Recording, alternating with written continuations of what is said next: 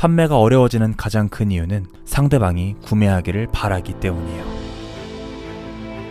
안녕하세요 여러분들 동기부여과 채용입니다.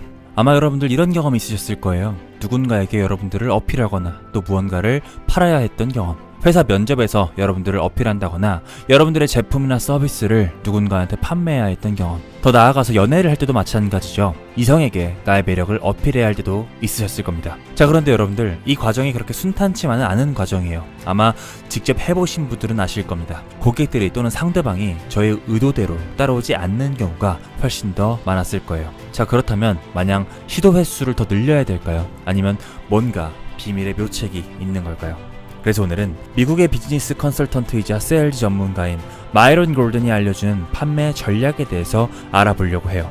아마 오늘 영상 끝까지 보시면 세일즈에 대한 자신감도 많이 생기고 어떻게 어필하고 또 세일즈해야 될지 감이 올 거라고 확신합니다.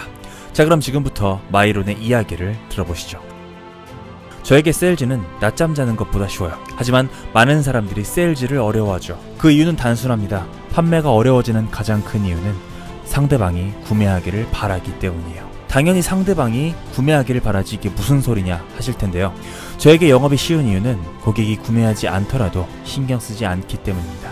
실제로 사람들에게 세일즈를 위한 프레젠테이션을 하고 질의응답을 하고 또 대화를 나누지만 실제로 구매를 신경 쓰지는 않아요. 그들이 저의 서비스를 사든 말든 개의치 않습니다. mindset이 그렇다는 거예요. 그런데 왜 이런 mindset이 중요할까요? 그건 제가 통제할 수 있는 부분이 아니기 때문이에요. 평균의 법칙이라는 말을 들어보셨을 겁니다. 제가 프레젠테이션을 10번 했을 때 한 건의 매출이 발생한다고 가정해 볼게요. 하지만 누군가는 프레젠테이션을 20번 했을 때 한 건의 매출이 발생하겠죠. 그리고 또 다른 누군가는 30번을 해야 한 건의 매출이 발생할 수도 있을 겁니다. 이건 사람마다 다릅니다. 그리고 그 사람이 가진 실력 그리고 탤런트에 따라서 달라질 거예요. 하지만 평균의 법칙의 멋진 점은 바로 여기에 있어요. 여러분이 잠재 고객에게 사전 교육을 하면 이 평균치를 높일 수 있다는 겁니다.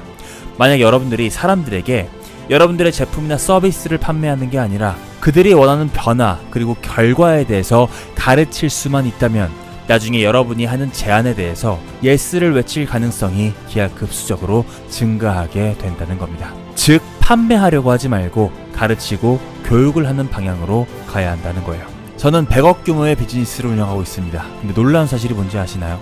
이렇게 큰 비즈니스를 운영하는 동안 광고비를 0달러 지출했다는 겁니다.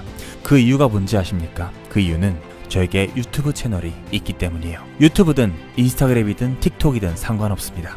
이런 다양한 채널을 통해서 사람들과 더 친숙해지는 것이 중요하죠. 여러분들 한번 생각해 보세요. 여러분들은 물건을 살 때 몇 번 봤던 친숙한 사람에게 구매하나요? 아니면 방금 만난 사람에게 구매하나요?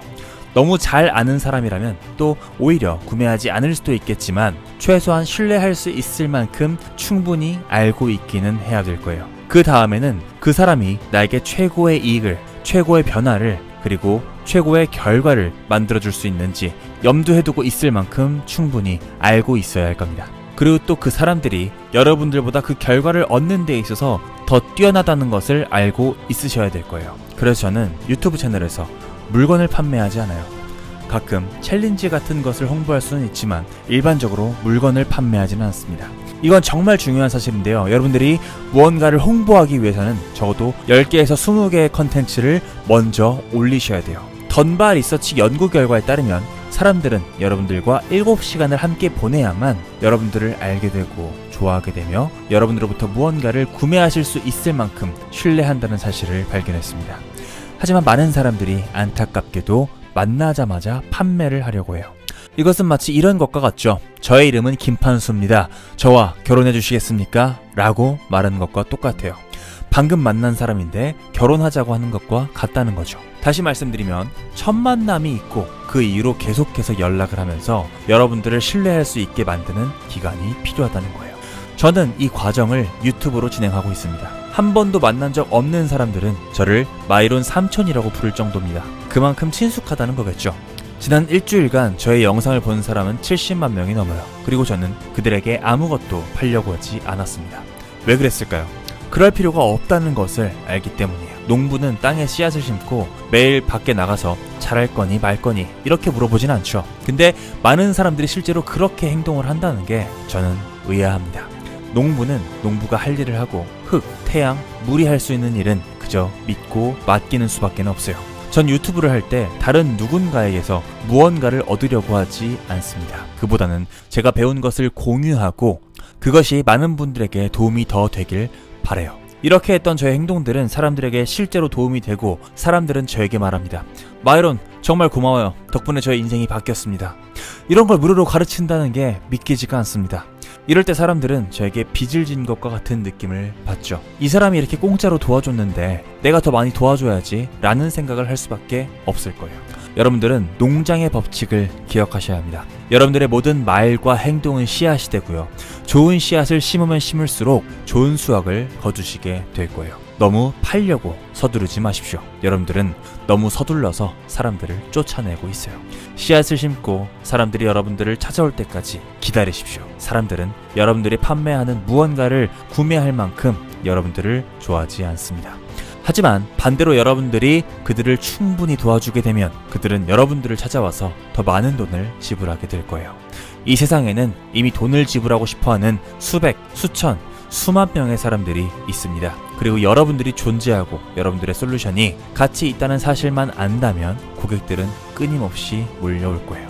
절대로 서두르지 마십시오. 오늘부터 여러분들의 씨앗을 심길 바래요. 자, 오늘 영상 어떠셨나요? 저는 진짜 좋았습니다. 정말 많은 도움이 되는 영상이었어요. 동기부여학과 구독자분들 중에서는요, 부업에 도전하시는 분들도 많으실 거고, 또 현재 비즈니스 또는 세일즈를 하시는 분들 많으실 거라고 생각하는데요. 오늘의 영상이 많은 도움 되셨을 거라고 생각합니다. 영상을 정리하자면, 무언가를 얻으려고 하기 전에 먼저 주는 기버 마인드, 그리고 씨앗이 충분히 자랄 때까지 기다리는 인내심, 찾아가는 게 아니라 오히려 나를 찾아올 수 있을 정도의 실력과 매력을 갖추는 것. 이렇게 세 가지로 정리해 볼 수 있을 텐데요. 오늘 영상 도움되셨다면 채널 구독해 주시고 그리고 좋아요까지 눌러주시면 감사하겠습니다. 자 그럼 다음 영상에서 도움되는 영상으로 찾아오도록 하겠습니다. 감사합니다. 지금까지 동기부여학과 최영호였습니다